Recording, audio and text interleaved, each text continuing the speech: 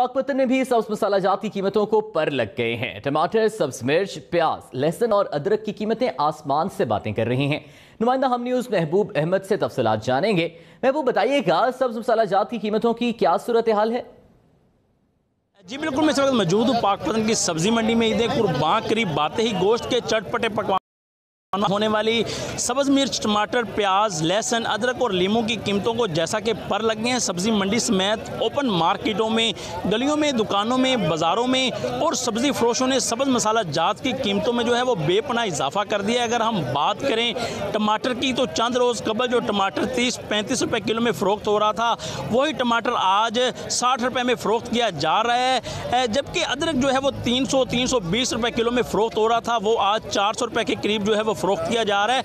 अगर प्याज की बात की जाए तो प्याज भी चंद रोज़ कबल जो है वो बीस रुपये पच्चीस रुपये में फ़रोख्त किया जा रहा था जो आज चालीस रुपये पैंतालीस रुपये में फ़रोख्त किया जा रहा है। शहरीों से बात हुई तो शहरीों का कहना है कि इंतज़ामिया बढ़ती हुई कीमतों को कंट्रोल करे ताकि आवाम को हकीकी मायनों में जो है वो रिलीफ मिल सके। बहुत शुक्रिया महबूब अहमद आपका। खबर है पाकिस्तान पीपल्स पार्टी के चेयर